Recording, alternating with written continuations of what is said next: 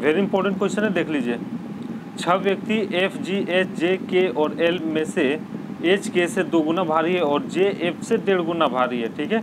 जी का वज़न जे से आधा है एफ़ और जे दोनों मिलकर ए से कम भारी है।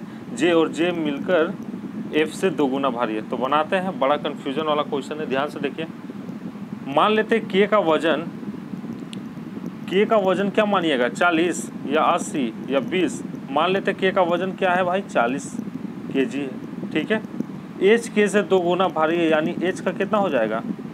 एच का कितना हो जाएगा? चालीस गुने दो कीजिएगा तो अस्सी हो जाएगा, ठीक है? एगो लाइन दे दीजिए यहाँ पे।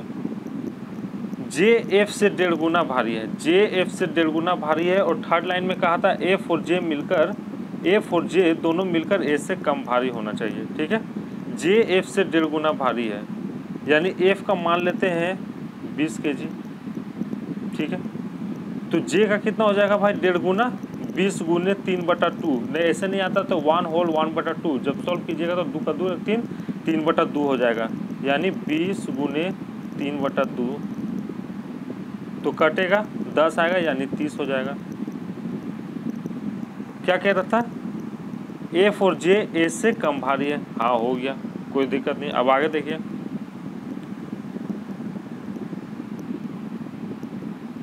ई वाला मैं लाइन लगा दूँ। हाँ ठीक है।